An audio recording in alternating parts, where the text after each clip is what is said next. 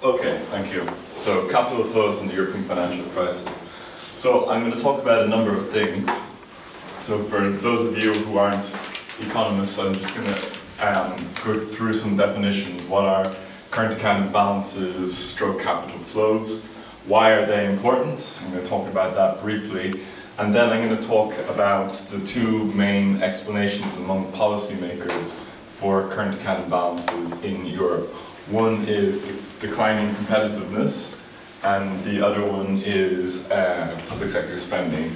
And I'm going to argue that actually these are not very good explanations, and that really we should conceive of current account balances or capital flows, they're two sides of the same coin, uh, differently. Uh, causality runs from the financial to the real, so I'll explain what I mean by that in due course. Okay, so what are current account balances? So just a, brief definition. So suppose that this is an economic entity, and for example, a country or whatever, and this circle, or whatever it is, the size of this uh, circle uh, shows how much that country can produce. It is the size of its uh, productive capacity in a given period of time, and it is a closed economy, so how much it can produce determines how much uh, people in this economy can spend, how much they can consume. So if you think of, say, a desert island with one shop, how much that shop produces determines how much the people on that desert island consumes or spends, okay? But for some reason, uh, people in this economy, they decide to spend or consume this much. This is how much they're producing, but this is how much they are spending. They're producing this much domestically, but their overall spending or consumption is this much. So the current account balance is the shortfall between spending and, sorry, between production, domestic production, and uh, consumption. It is the difference between these two, okay? So in order to be able to um, spend or consume this much while producing, only producing this much, it has to borrow from the rest of the world, okay? It has to borrow from the rest of the world. So the current account balance is equal to the difference between these two, and this shortfall is met by equal and opposite borrowing from the rest of the world, capital flows. These are the capital flows. So the current account balance is equal to capital flows. Capital flows is how much you are borrowing from the rest of the world on aggregate. Okay. So note here that uh, I'm saying in the conventional view, causality is running from the real to the financial. It is the decision by people in this entity to consume this much while only producing this much. Okay. So the current account balance is the difference between these two things, and this is equal to how much you're borrowing, capital flows. Note that the current account is approximately equal to exports minus imports as well. Now, this relationship breaks down uh, in Ireland, but for most countries this holds true. And if you think about it, it sort of makes a little bit of sense intuitively. I won't go through it thoroughly, but if you're exporting, this means that you are producing something at home, but you are selling it abroad. If you are importing, this means you are consuming it, but you are not producing it here. So the greater the amount of imports, the greater this deficit, deficit is. The greater, amount, the greater amount you have to borrow from the rest of the world. Okay? And why is this important? Because it is argued that in Europe, the peripheral countries, they had these current account imbalances. They were not, they were consuming, they were producing, sorry, they were spending more than they were producing domestically, so they had to borrow from the rest of the world, especially other European countries. And these foreign borrowings, these caused housing bubbles and financial crises in the peripheral countries, Ireland, Spain, Greece, and Portugal. Okay, so just briefly go through some more why housing bubbles might occur from foreign borrowings. So note that much of cross-border flows uh, is mediated through the domestic banking system. SME lending is risky for banks. Banks generally don't like to lend to SMEs because SMEs, small and medium-sized enterprises, they cannot um, post collateral if the loan goes bust. And also, many SMEs fail compared to more established big businesses, okay? And also note that big businesses, insofar as they do finance themselves externally, they tend to bypass banks. They go directly to financial markets. They borrow using bonds or maybe they issue shares. As a result, if you have these foreign inflows, this is unlikely to lead to productive um, lending. It is likely to go into increased mortgage lending or increased speculative activity. And this can produce housing bubbles, okay? So what are the dynamics of current account balances in Europe? So this is the current account balance. This is a shortfall uh, between production and spending, or maybe the other way around, the surplus between production and spending. So maybe it's not so clear, but this line here is Germany. So Germany had, especially starting in the 2000s, it had very large current account surpluses. This means that it was spending less than it was producing. It had a surplus and it was sending these surpluses abroad. It was loaning to the peripheral countries. And note that the peripheral countries had large um, current account deficits. They were spending more than they were producing, so-called living beyond their means, that awful expression. And note especially that uh, this is Greece, particularly large, uh, I think that's Portugal, Spain and Ireland. Ireland not so big, but I'm not going to consider Ireland because I'll explain in due, due time. Okay, so one of the main explanations for these large imbalances um, is that in Germany, unit labor costs stagnated. That is um, one of the main measures of competitiveness. Uh, unit labor cost is the amount of labor cost you need in order to produce one unit of output. It's not, there's lots of problems with it, but it is measured, for example, in euros per haircut. It is the amount of, uh, amount of money you have to pay to your employees in order to produce one unit of output. So remembering that the current account is approximately equal to exports minus imports. So in Germany, labor costs stagnated. But in the peripheral countries, labor costs increased a lot. And as a result of these rising unit labor costs, export, so the argument goes that exports became uncompetitiveness. So the current account imbalances, according to this view, is explained by the fact that exports fell in these countries as a result of rising unit labor costs.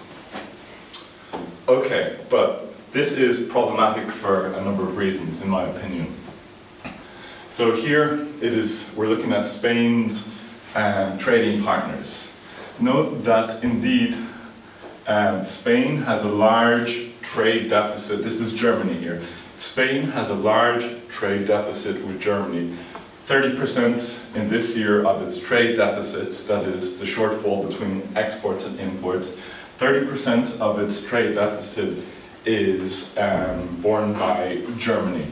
But note that from 2002 to 2008, actually, its trade deficit with Germany declined throughout this period. And insofar as it lost competitiveness vis-a-vis -vis another country, it's best explained by China. Its trade deficit with China increased a lot, but its trade deficit with Germany decreased a lot despite its rising unit labor costs relative to Germany. Uh, similarly with uh, Greece. Um, this is Oh, it's hard to see that actually. I think this is Germany, this dark line here.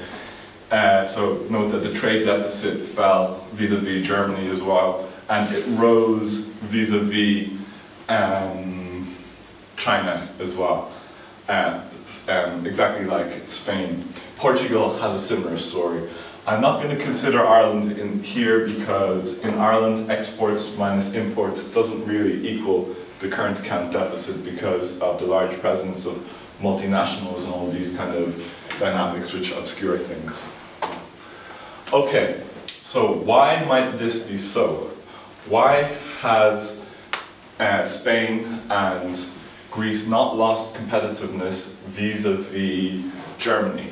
Well, one reason is that actually uh, unit labor costs are only one component of exporting costs.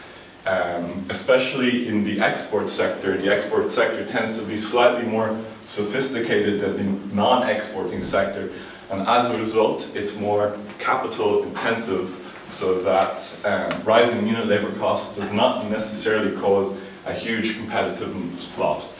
But in my opinion, the most important reason is that actually Germany and Greece and Germany and Spain and Germany and Portugal, they're producing completely different things. If you look at Germany's uh, sort of trade and exports, they're very sophisticated goods. So this is a ranking of different countries' um, exports in terms of their complexity, how sophisticated they are. So basically, Germany is producing very sophisticated goods. Germany and Japan rank at the top of the ladder in terms of uh, sophisticated goods, but Greece and Portugal very much at the bottom of the ladder. So basically, Germany is exporting mobile phones or whatever, and Greece is exporting feta cheese, to make an extreme example, so that actually you know, unit labor costs, they're not competing against each other, basically, okay? All right, so this is an alternative explanation for uh, current account imbalances. So note here we start with the financial sector. We start with the financial sector. And the financial sector decides to loan money to some country. And why does it loan money to a country? Well, this is obviously facilitated by the euro, which uh, had lowered interest rates for banks in the core, but also the euro implies an absence of exchange rate risk, so it's much less risky to loan money across borders.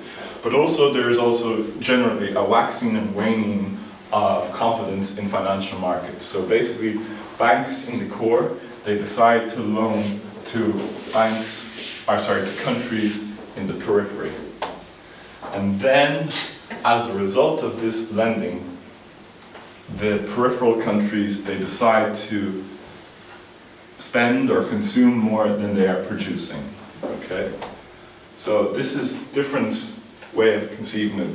So note here that causality runs from the financial to the real, okay? It starts with the decisions of banks, okay?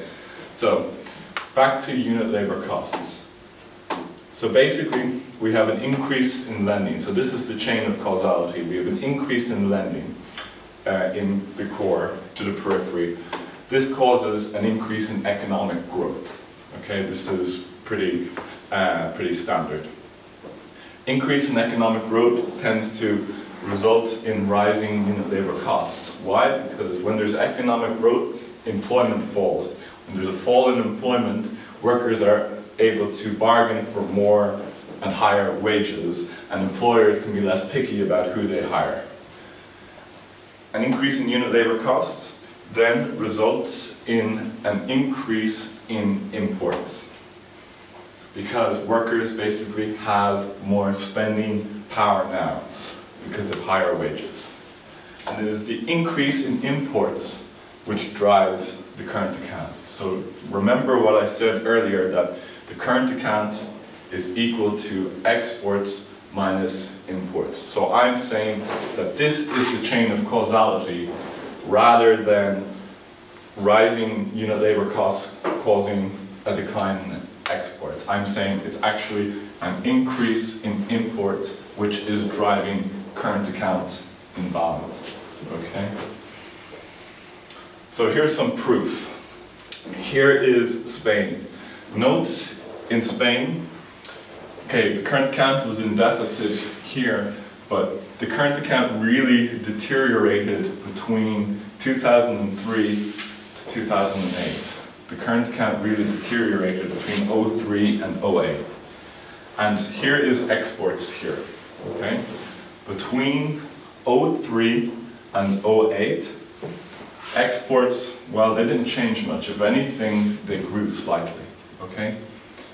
But look what happened to imports. Between 03 and 08, imports really increased a lot. So quite clearly, the deterioration of the current account is being driven by an increase in imports in this country, and the decline in exports is just not evident. Okay? And notice here, as kind of just as an aside, that the current account is a mirror image of economic growth in Spain at least. It is a mirror image. So when there's an increase in economic growth, this causes uh, the current account to go into deficit through increased spending on imports. Uh, exactly the same picture can be made in Greece.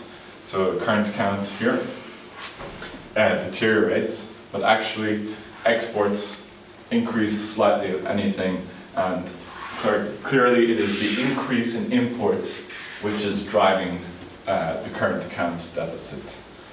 Um, and again, economic growth is a mirror image of the current account. Same story in Portugal. Current account deteriorates here, but actually exports grow slightly, but imports grow even more. So current account being driven by increasing imports. Okay, now I'm going to look at public spending very briefly.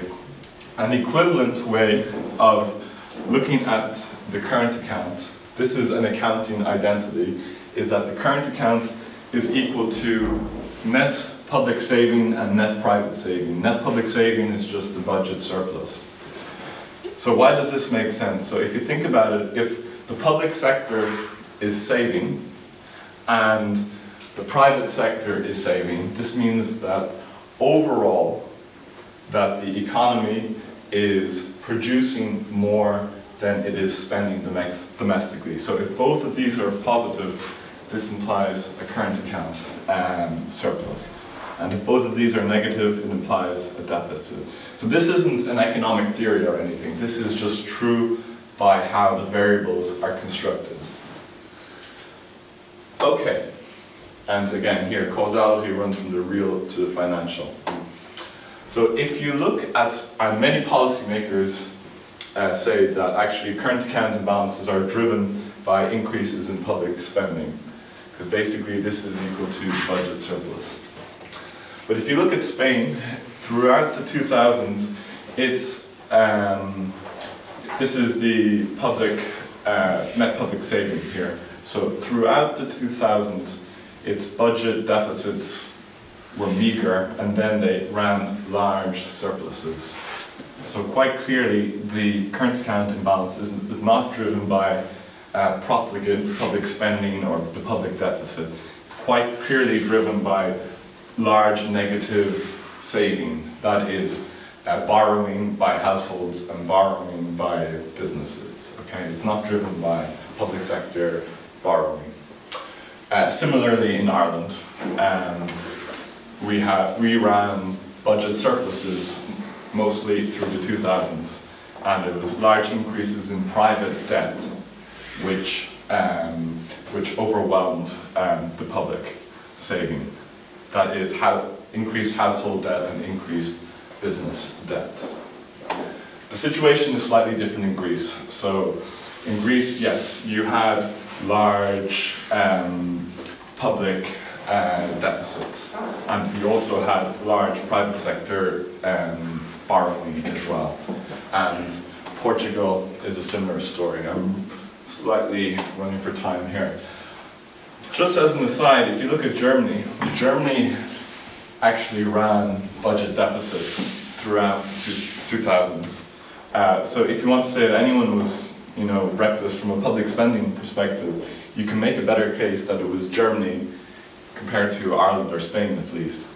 The reason why Germany has a current account surplus is that this uh, pro- this uh, public deficit is overwhelmed by very large private savings. So individuals and households and business, they save in Germany. So to conclude, there is weak evidence for declining competitiveness as a cause of current account imbalances. Rising imports due to lending-induced growth a more likely cause.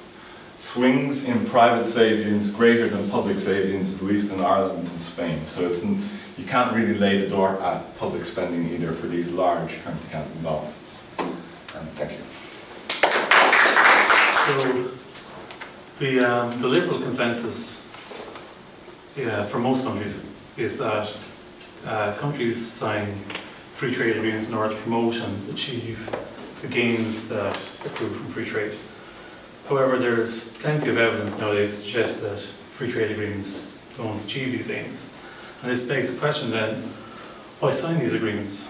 Um, this paper will, will argue that trade agreements are used to force through unpalatable regulatory changes and that trade deals are an integral part of intra-block new constitutional convergence. Uh, to investigate this, I'll look at two discrete parts. First, I'll assess NAFTA. It's kind of the archetype for this type of agreement, and outline how it served the interests of financialized capital. And second, because the TTIP is between the US and the EU, which is comprised of uh, a number of um, economies which derive their comparative advantage from strong regulations. I'll critique the variety of the capital literature. Um, and this is to show how uh, institutions in these uh, states are gradually transforming. How, how they are transforming is through the political judicial project of new constitutionalism. And I'll argue that the uh, uh, project such as the TTIP serves the interests of European firms who are as tied now to the, share, the metric of shareholder value as their liberal market uh, contemporaries. And the reason that trade deals are signed is that they were a vital component that enable convergence between liberal market economies and coordinated market economies. So the neoclassical argument between, for signing free trade agreements is that these agreements combine the benefits of free trade in, in a Ricardian sense with the relative ease of reaching agreements at a regional rather than a global level. However, before NAFTA was signed, there were doubts about its efficacy. Paul Krugman summed it up here. No effects on jobs in the US, produced only a small increase in US real income, probably to a fall in the real wages of US skilled labour. Um, and he said it's essentially a foreign policy rather than an economic issue. And he said that there's a couple of studies at the time that said that it'll just really add 0.1% to US real income. Um, Brad DeLong, who is like a self-professed neoliberal, um, outlined in 2006 how uh, it, NAFTA had been a total failure for Mexico and that they were now no more uh, productive in terms of domestic income than their equivalents 15 years before. And he sort of questioned whether or not a, a non-neoliberal strategy might been better for Mexico. That's according to a neoliberal. According to Mark Weisbrot, uh, by any metric that you can assess NAFTA, it's been a total failure. Uh, for Canada, there hasn't been many economic improvements either it stands now as a sort of a, uh, a low-wage uh, economy relative to other advanced economies with low-paid employment, accounted for about 25% of the full-time workforce. The Dallas Fed also found that NAFTA had very little impact on um, trade between the US and Mexico. And this isn't um, surprising because uh, there already had been many uh, agreements in place prior to this. Um, so looking to the future, um, the, the current landscape, uh, there are two significant trade deals in negotiation, TTIP obviously, and also the Trans-Pacific Partnership. Uh, I'll focus mainly on TTIP, but um, regarding the Trans-Pacific Partnership, uh, it's been pointed out that conventional barriers to trade uh, such as import quotas or import or export tariffs, are, are already now so low that it's, it's hard to get large effects from any further reduction. And while it's possible to kind of argue that some gain is better than none, I think that uh, pro-trade uh, agreement advocates will keep on making these arguments even when the marginal effects of trade agreements become asymptotic. A recent quantitative analysis of the TPP could only find uh, gains, possible gains of 0.1% of US GDP. Uh, that, that's the figure they came up with uh, with regard to NAFTA Krugman. So this seems to be a sort of like a relative figure that they can only ever find a tiny, tiny, tiny marginal gain. Um, that study was designed with non-standard effects, so to produce absolutely optimal results. And Dean Baker's argued that the TPP is not a good trade, and its purpose is rather to change the regulatory process in a way that would certainly be opposed by most people if they were allowed a voice in, the, in discussions or, or a vote. And uh, I argue that trade agreements are now becoming sort of uh, a de facto constitutional governance structure for the global economy. And this is what new constitutionalism pertains. So a key characteristic of the political economy of the world order today as it now stands is how it's moulded by the market revolution, which is apparent since the 70s. And that's associated with globalization and neoliberalism. And uh, while there's much recognition of the market revolution broadly, you know, was known as globalization, there's very much less uh, recognition that this will be facilitated by new constitutionalism.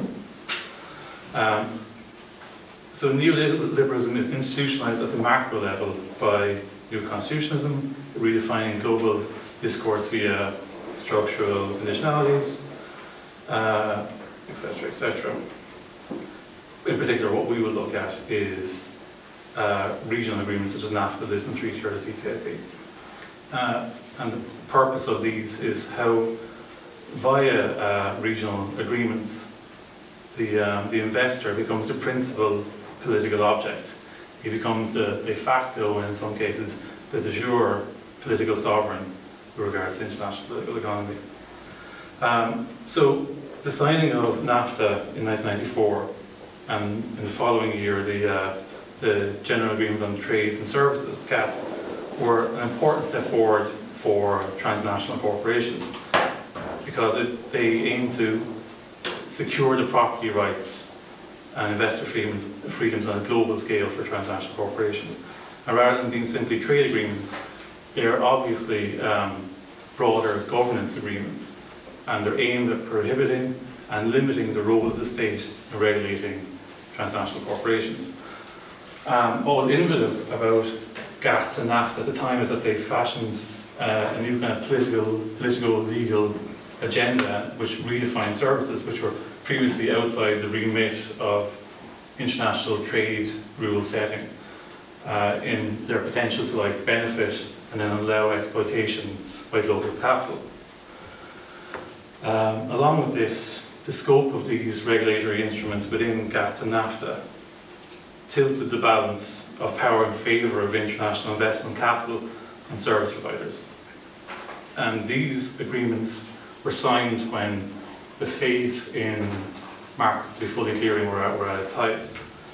Uh, so therefore, uh, they were not written with the aim of regulating transnational corporations other than to protect sort of investor protections and freedoms, but rather these agreements are written in order to circumscribe the role of the state. Um, and uh, the way that the state might regulate transnational capital. And this was the decisive shift away from the General Agreement on Trade and Tariffs. So, uh, one of the principal concerns currently of, of political economy in the face of the pressures of globalization is the stability of regulatory systems and national institutions set against interstate economic competition, uh, attracting and maintaining capital investment, etc. And the face of sort of this globalizing pressures, the argument is obviously that will these institutional differences survive or will the process of competitive deregulation uh, drive all economies towards a shared market model. And governments are, it is argued, are under pressure to submit to changing their institutions such that they don't stand in the way of the deregulation of internal markets, uh, to reduce the tax burden on corporations, and uh, doing away with sort of like pro-labour sort of like conventions and laws that, that raise unit labour costs. Resistance to this normally comes in the form of the trade union movement and social democratic governments, and the strengthening or the uh, opposition to these is relative to how sticky the political institutions in these states are. Obviously, um, the international economic system offers capital far more exit possibilities than does labour. So the argument is that the end point is, is convergence, with a race to the bottom where regulatory arbitrage leaves states with no choice but to lower regulatory standards and taxation in order to avoid capital flight.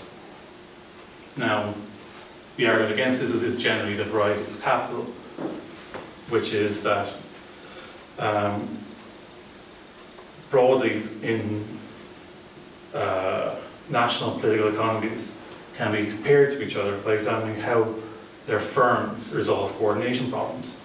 So a core distinction is, is between coordinated market economies and liberal market economies.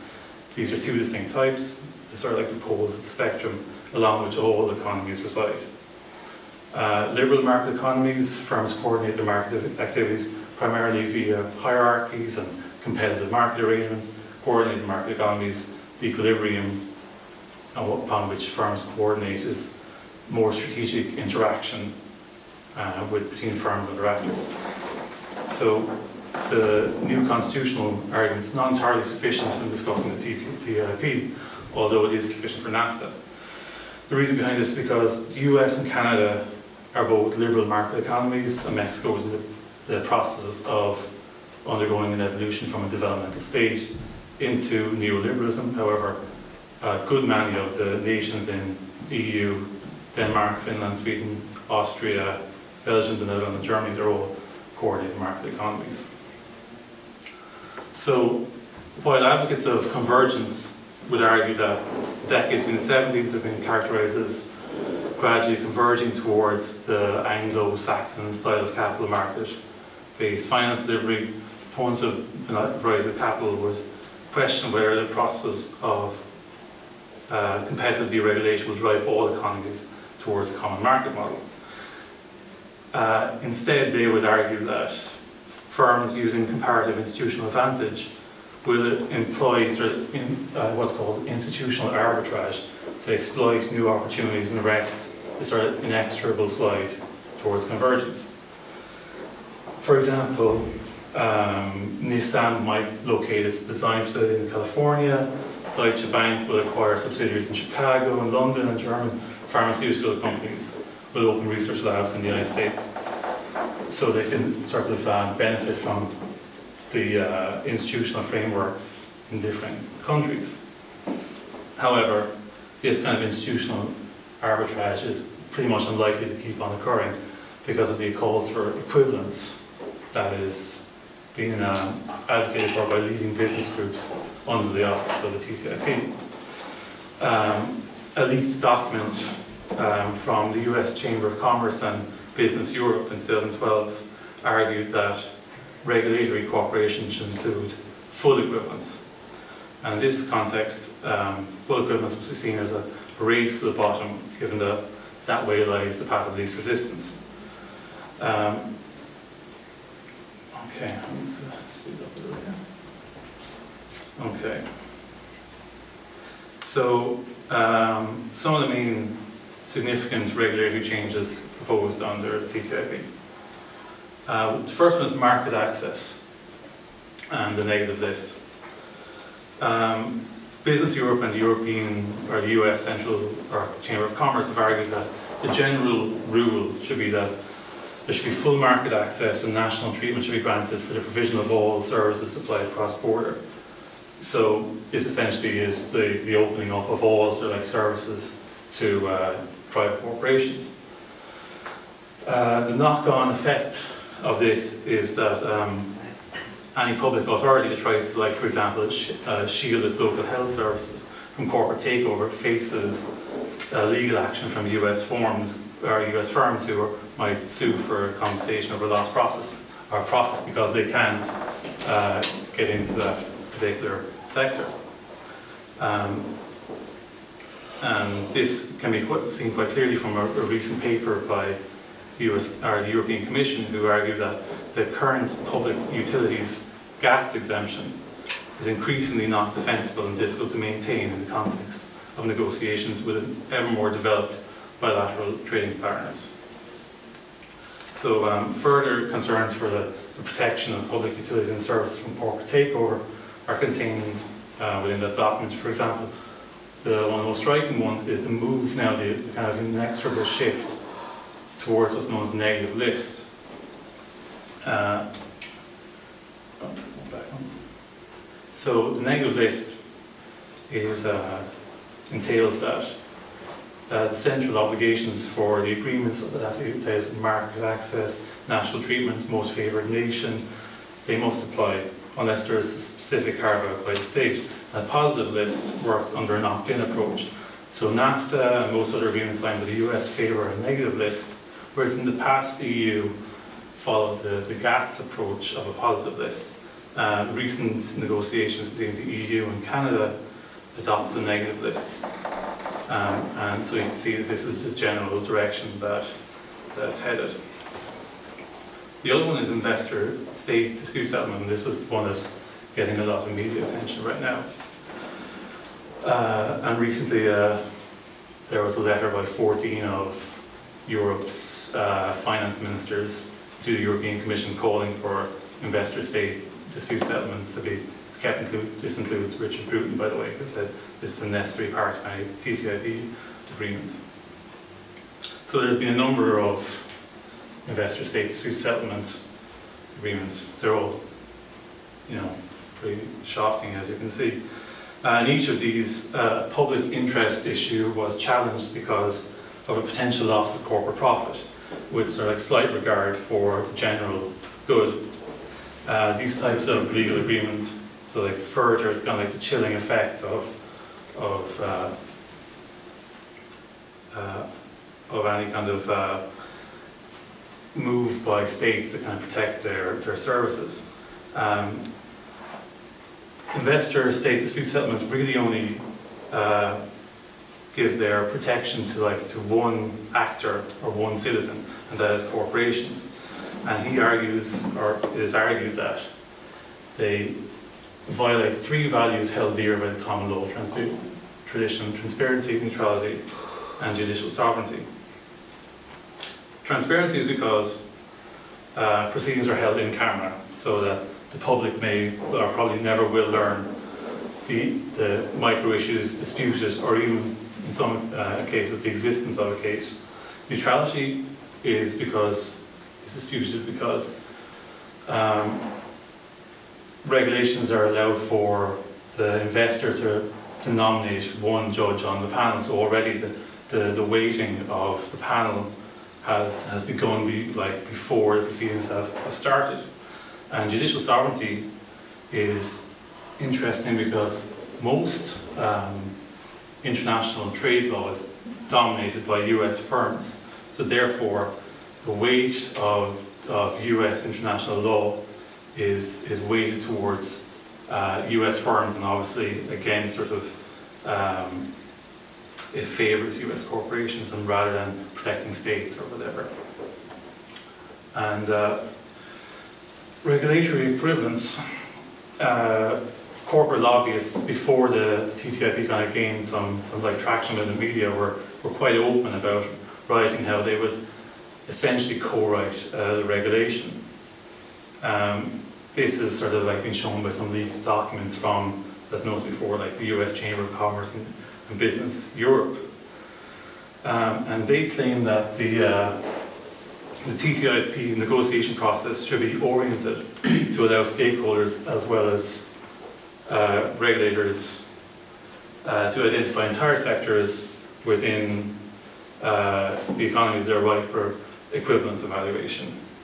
Um, and it appears that this is sort of a for a race to the bottom. Some um, uh, like equalisation that might happen would be car safety, Euro NCAP. We have a, a pretty healthy sort of like regulatory process where cars are tested. In America, it's just self-certification. Are you certified, yes or no? Um, they would argue that there's going to be some kind of like mutual recognition, but these are impossible to uh, to um, formulate, and so essentially they're just going to go with the one which is the, the least uh, difficult to implement, which will be self-certification, will be the one that will be coming to. Again, European chemical law, there's 30,000 chemicals that are outlined in, in Europe. It will be unlikely that the, the burden will be shifted upwards, it will be shifted downwards. So therefore this is what sort of like behind the border regulatory roadblocks are. It's not really about trade or gains, it's about uh, equalisation of, of these policies. Um, positives for the future. Uh, since I first started talking about this, uh, it was an awful lot of transparency whether or not the uh, the, the, the people would ever kind of hear about this. There was a massive letter writing campaign, and recently the European Commission was forced to hold a public consultation about investor-state dispute settlements, and 150,000 people responded. So you can see that, like, you know, there are some positives for the future. Uh, right, that's it.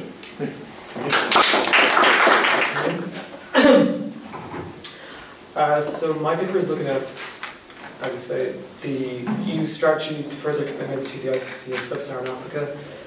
I'm looking at it from three points of view. So, has the EU empowered African states to join the courts? Has it actually reduced it, or is it actually being ignored in the policy instruments that it's using? For those who don't know what the International Criminal Court is, it's a Hague-based uh, court. It is mandated to prosecute alleged offenders of most serious crimes of concern, so genocide, war crimes, and crimes against humanity.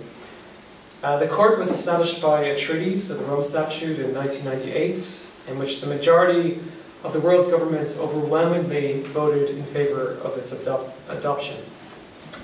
Uh, just four years later, much to the surprise of even the most optimistic observers, uh, it was operationalized after it, meet, it met the threshold of 60 ratifications. Today, 122 states have ratified the Rome Statutes. 33 of these come from sub-Saharan Africa. Um, 36 individuals have been indicted. Um, controversially, all of them are from Africa, uh, including the Kenyan presidents, Uhuru Kenyatta, his deputy presidents, William Ruto, and also the Sudanese president, Omar al-Bashir. In response to this, the African Union has led, there's been a backlash among the African Union who have accused the, the courts of double standards, racism, uh, judicial imperialism, as well as labeling the courts uh, a European court for Africans. So the accusation is that uh, the European Union induced these African states to commit through, to the court through aid, and that legitimated uh, the indictments against African actors. Now, for the purpose of this discussion, I'll be speaking about the role of the European Union in persuading these African states to ratify the Rome Statute. But ultimately, this question stems from an empirical puzzle. So, just on the right, that just shows the depths of legal commitments to the courts among African states. Uh, so in terms of ratification and implementation of the Rome Statute. But the empirical puzzle is, why did these African states legally, or decide to legally integrate their jurisdictions into this Rome Statute system? By ratifying the Rome Statutes, you're conferring authority to a third-party institution, institution over extremely sensitive areas of sovereignty, so like the, the authority to define crimes and punishments over nationals, um, it also empowers this third-party institution to regulate and monitor uh, national security decisions. Furthermore, one could argue, and I think that this is the case even without the benefit of hindsight, uh, that many African states, because of the preponderance of conflicts and political instability uh, in the region after the Cold War, as well as the collapse or uh, the prevalence of weak or collapsed judicial structures, some of these states were invariably going to be a target for the ICC. Perhaps not the target, though. Finally, unlike another state party such as the United Kingdom, many African governments would not have the diplomatic resources to prevent an ICC case from proceeding. Now, the role of the European Union naturally arises as a point of inquiry when thinking about this empirical puzzle, given that the EU is the most enthusiastic champion of the International Criminal Courts, as well as being the largest distributor of aid to sub-Saharan Africa. So in 2001, three years after the Rome Conference, so the conference that negotiated for the creation of the ICC, the promotion of the ICC became an explicit objective of the uh, CFSP uh, through the adoption of a common position. In keeping with the objective of an international order based on effective multilateralism, the, the EU has from the beginning expended diplomatic and financial capital to the ICC cause. So from 1999, the European Commission um, provided generous grants to African civil society groups who subsequently set up ratification campaigns in these countries. Um, also, during the Rome uh, Conference negotiations, uh, EU member states were in the vanguard of building a global coalition to support an institutional de uh, design based on hard laws and independent authority. As alluded to earlier, so the Council of the EU adopted common positions in 2001, but also 2002 and 2003, which mainstreamed the ICC into the Union's external, external relations policy framework. So they basically provided guidelines for member states on the type of soft policy instruments they should employ towards promoting the ICC in third-party countries. And by promoting, I mean encouraging the states to ratify this treaty as well as domestically implemented. The soft policy instruments include raising the issue in political dialogues with third-party states. So during these meetings, a EU representative might express you know, the shared values between African states and EU. They might invoke like the principles within the Cotonou Partnership Agreements, or they may allude to uh, AU, or human rights principles in the AU Constitutive Act. Um, but they, the EU would also send out démarches invoking similar rhetorical devices. And also offering technical assistance to states which requested it in order for them to ratify and implement the statute. However, it was not until the Council adopted an action plan in 2004 that the EU and its member states agreed to a framework that systematically set out a coordinated strategy or a coordinated range of activities to advance global commitments to the courts. At the heart of this strategy was the establishment of EU and national focal points, uh, which were devoted to exchanging information on the ICC and establishing appropriate contacts where they could raise this issue, uh, but also identifying opportunities to include the ICC on a draft list of issues in negotiations and political dialogues. So by increasing the density, uh, consistency, and flow of information about the ICC, it was to maximize the effectiveness of these previous policy instruments.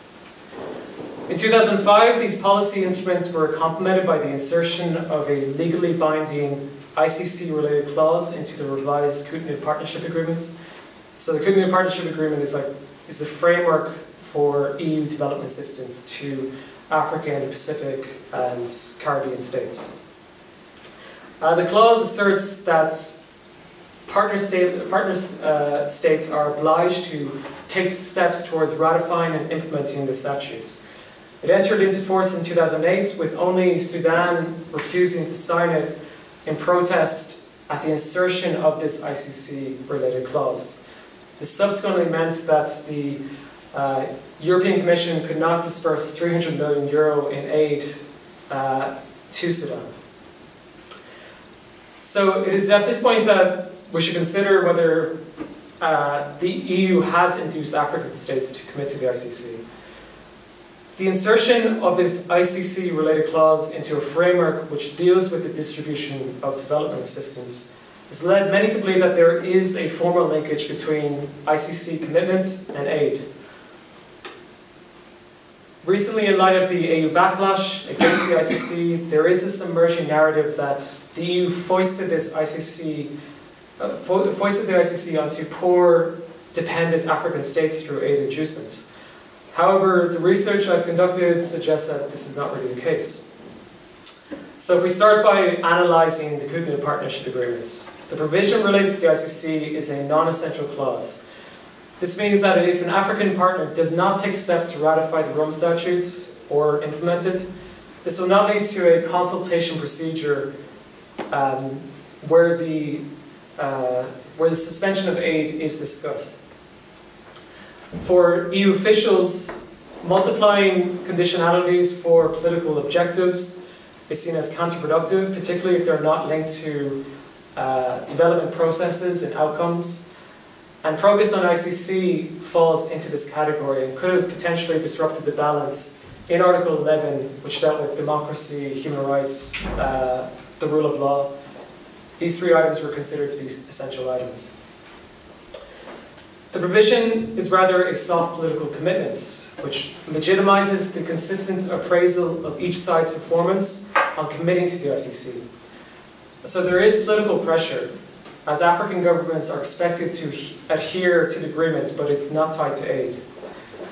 The reason Sudan lost aid was not due to its failure to ratify the Rome Statute, but instead its insistence on not signing the Cotonou Partnership Agreements because of the inclusion of the ICC related clause. Furthermore, African governments have had a role in defining the terms in which this ICC-related clause was included. In interviews with EU officials who negotiated for the inclusion of the ICC-related clause, they mentioned how the European Commission pushed for a strong and explicit reference to the ICC in negotiations, but African states or African representatives resisted and managed to negotiate for language that was much more politically flexible and gave African governments more discretion over the pace of committing to the ICC. If we test this hypothesis further and examine other observable implications, it becomes even clearer that aid was not a primary factor in explaining the patterns of African states committing to the ICC. So if we examine negotiations to create the ICC, the positions that African states adopted do not necessarily significantly overlap with their principal EU donors. So if we just look at the, the percentage of positional alignments at Rome Conference, the orange bars are a control sample of non-EU states uh, and African states, and the blue bars are uh, the positional alignments over issues discussed at the Rome Conference between EU donors and African recipients. And there's no real pattern emerging. And if you look at the bottom line, which says overall degree of positional alignments, shows that actually the control sample of non-EU states is stronger than um, the alignments between African recipients and EU donors. So this would suggest that African states favored the creation of an ICC independent of European, uh, Euro European influence. Likewise, according to a survival analysis I tested, there is not a positive association between dependency on EU aid and commitment to legal instruments.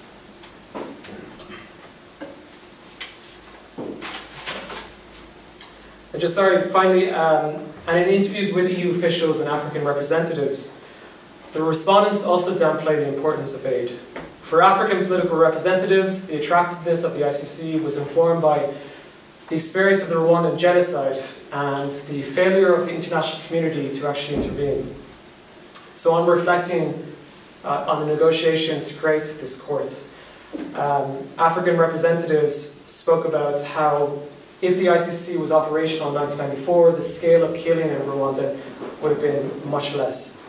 As well as the fact that they were very attracted to this independent court uh, that was independent of the UN Security Council and was constituted by hard laws and was seen as a reliable institution that weak states could call upon in cases where atrocity crimes took place uh, and where the judicial structures have actually collapsed. So moving on to empowering, has the EU empowered these countries to actually join the courts? Empowering is an identity-based concept, uh, and this identity is constructed by social relations. It has multiple dimensions. Um, firstly, the concept reflects how the EU seeks to portray itself through external relations as an altruistic or a solidarity-based uh, normative actor in the international system. Secondly, the EU empowers third-party states through increased recognition. So the EU would portray this actor as an equal or even similar to itself. But this concept is not strictly limited to identity construction. It involves a variety of practices and power resources, such as the transfer of knowledge, um, expertise, and resources. Now there is a paradox to this mechanism. Whilst empowering aims to treat uh, the other on equal footing, it actually emerges from a relationship of inequality. The empowerer has both the initiative and superior symbolic and material resources. And in order for this mechanism to work, this inequality has to be concealed for as long as possible. So an example of this would be um, when the United States forced a lot of weak aid-dependent countries to sign bilateral immunity agreements in order to protect their military personnel from the ICC's jurisdiction. And the EU uh, decided to actually compensate some of these states that actually lost aid, but it did not publicly disclose this. Like the official policy position of the ICC is that we use soft policy instruments. Uh, it didn't talk about the material rewards or compensations. A further dimension of this concept relates to just that example. So, as the practice of disempowering others, which the EU, which the EU um, often uses against the United States. Uh, it depicts it as an opponent of international law. So, referring again to these bilateral immunity agreements, the EU derisively referred to them as bilateral impunity agreements. So, on a number of fronts, one could argue that these discursive practices and diplomatic resources aimed at empowering African states has actually contributed to African initial support for the courts. Although, as uh, I've demonstrated during the Rome Conference, during the Rome Conference negotiations, there wasn't necessarily an overlap between African and European positions. African delegates did res positively respond to the EU, EU's proposal that the court would be based on the principle of reciprocity and equality. And for a number of governments, African governments that were concerned that the ICC would be used as a vehicle for major powers to target weak states, this frame had enormous appeal and led a lot of delegations in the non-aligned movements to then back uh, an institutional design based on independent authority and hard-held governance provisions. But perhaps the most effective measure has been the EU's funding of national civil society organizations that provide on-the-ground technical assistance. From the Rome Conference, it was clear that the majority of African governments were in support of the ICC, However, many national governments lack the capacity to uh, overcome technical obstacles in the way of ratification and implementation. So resolving legal incompatibilities between national constitutions and the Rome Statutes. And the EU sponsored a series of regional conferences uh, hosted by EU-funded civil society organizations, uh, such as the Coalition for the International Criminal Courts and the Parliamentarians for Global Action.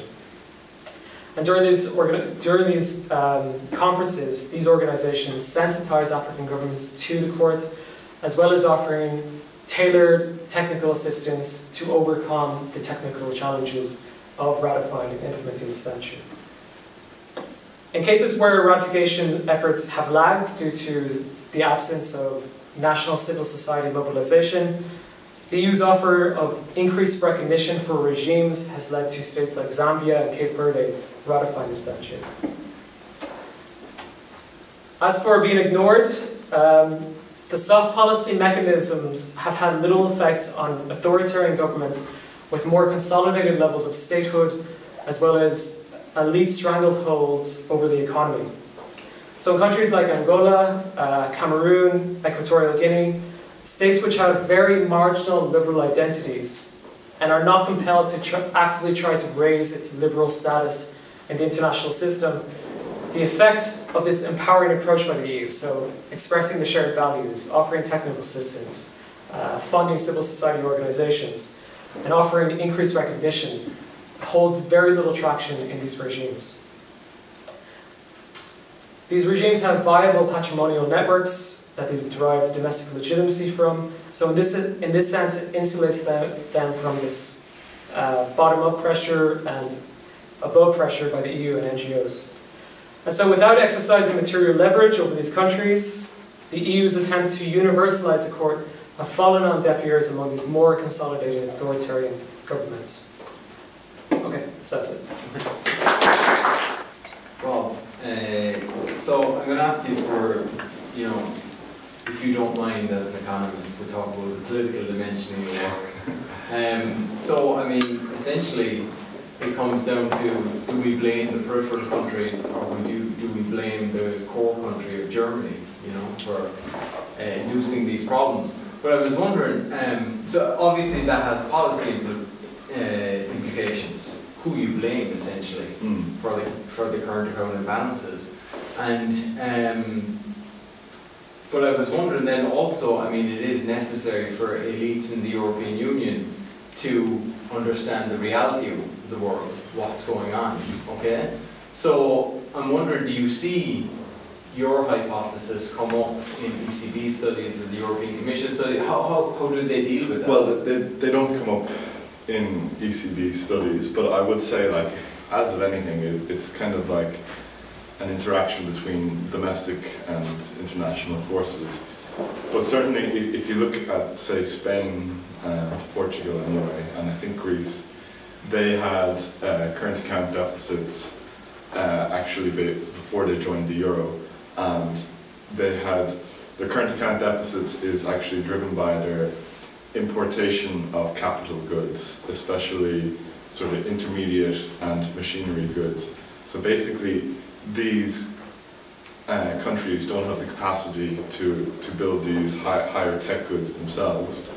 So the current account balances did predate the imposition of the euro, but at the same time, I've definitely seen it being argued that their ability to conduct effective industrial policies was scuppered by them joining the European Union too soon in 1980, whatever, and that actually, um, although they probably benefited overall, uh, at least uh, up until 2000, uh, definitely their uh, industrial strategy was one that was skewed towards dependency on foreign direct investment and it was sort of retarded uh, domestic high-tech capability. So, you know, as with everything, it's kind of sort of interaction between domestic and international forces.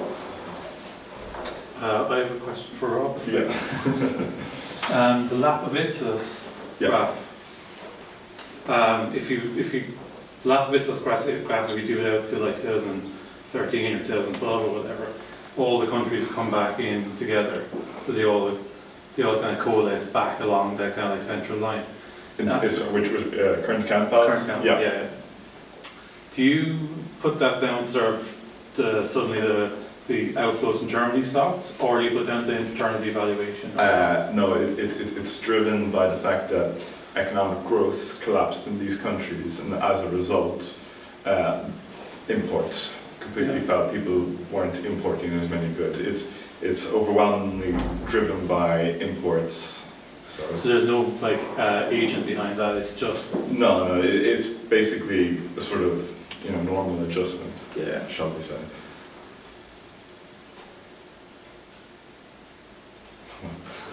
Not me. Just on the, the TTIP thing, um, there was some other thing a few months ago, and we're, we're trying to get some actual decent sources on information for TTIP. Um, where do you, where have you been sourcing the material for that, for research? Because it seems all very hidden and very, Yeah, it's it's it's very um, in terms of academic. Uh, when I when I first started like looking at this, I went and asked a couple of people like, what's the what are the good sort of like academic guys TTIP, TTIP, and they said there are none. Basically, until the the till it gets released, then they discuss it. But until then, know, so it's mostly NGOs. George Monbiot actually in the Guardian is essentially the, the leading light of, of TTIP analysis. Like, and you know he probably is the guy who collects most of the, the, the leaked documents. Uh, Corporate Observatory Europe is also a really good source, but like nothing really academic, unfortunately. Like, Yeah, that's what it is, you know, it's been that yeah, Just one of the last slides you were, you were talking about, one of the positive things there. Um, I'm not too sure about this, but I've seen that there's like a citizens initiative, right?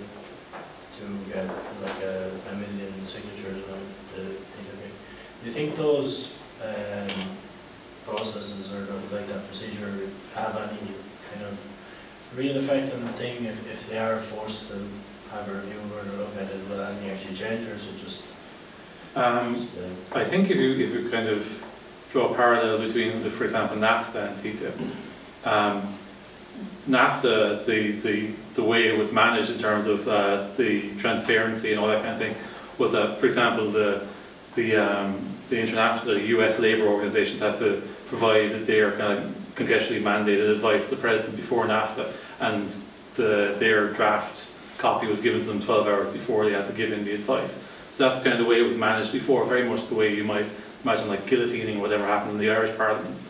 Uh, the the sort of like people power uh, that's kind of like convening against TTIP, I think is pretty much unique. How much how much uh, effect it'll have, I'm not sure, but they've certainly had more impact than any sort of like a trade agreement before. Like even just the or sorry, uh, but even just the the um, the uh, making them look at the uh, the ICS the, is a is, is a massive start. Like.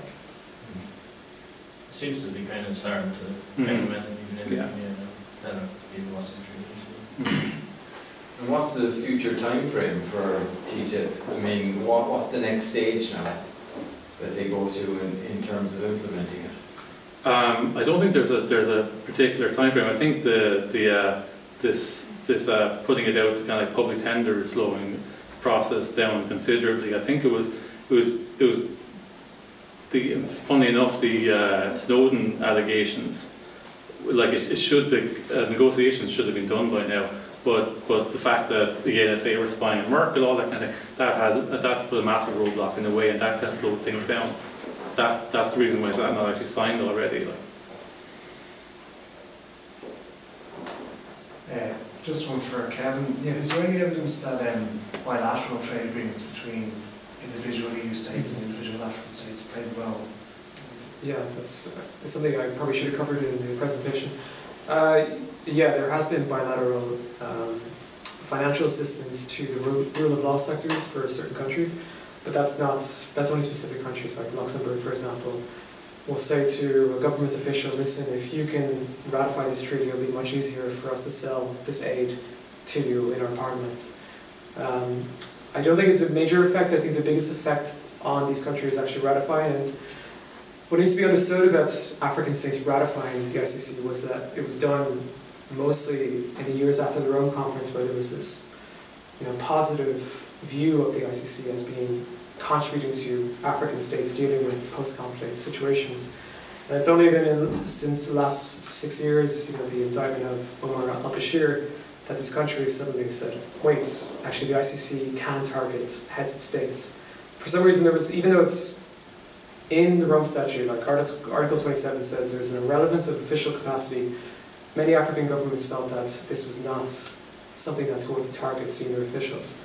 So when they were actually agreeing to this, civil society organizations were engaging with them and saying, listen, this is a good thing, and you know, you'll get normative benefits from it, and so they, they agreed to it. So the aid pressure wasn't necessarily something that needed to be uh, in place for them to actually commit to this uh, ICC.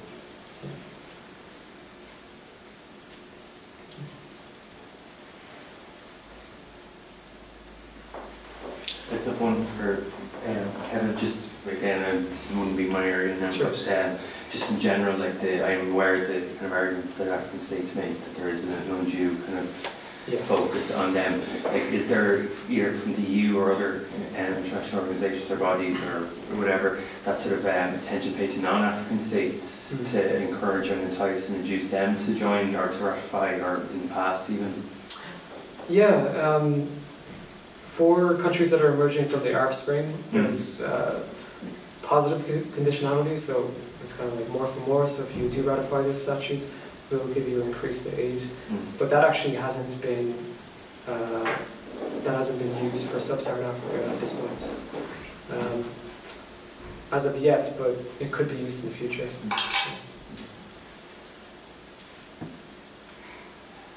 So next, Kevin, you know, when you're talking about, you know, states taking money to take this on, and like, where the question of impartiality there, how, you know, the judges who are, the judges, what understanding that they got of, after the, the situation in these countries, I mean, it's, it's very complicated with the, the tribal warfare and that. Right. Where, where, where, where are these judges, what, do they actually come from Africa, the African states themselves? Yeah, well, and one of the reasons that a lot of African states decided to ratify the statute was that only state members of the ICC can be allocated senior positions within the international criminal courts. So this was actually quite an attractive body, and in a sense, you could actually influence the courts by, you know, uh, having your nationals represented at these high levels. One of the problems is though that there's a lot of like they have a yearly events where all of the states come together, and when a judge's uh, time is up, they elect new judges, and there's a lot of kind of horse trading. And the quality of judges tends to not be great. so They don't really focus on merits. It's more about political considerations. So that is actually a huge criticism of the court that they, the judges themselves are not uh, fully qualified for the positions. And at times there's a lack of considerations for the domestic context. And the huge debate at the moment is whether criminal justice mechanisms are actually relevant or effective in these situations. Like in Uganda, for example, local peace initiatives, in, or sorry, local justice mechanisms were seen as more appropriate than criminal justice mechanisms. But they actually exacerbated the conflict.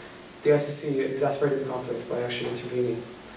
So there is this kind of distance between this Hague-based body and what's actually happening on the ground in Africa in terms of the appropriate mechanism, mechanisms that they use uh, for merging or transitioning towards uh, you know, peace and things like that. Thanks, Kevin.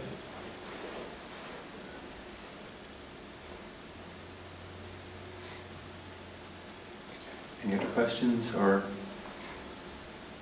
I think we've all, yeah, so if we get a round of applause for the last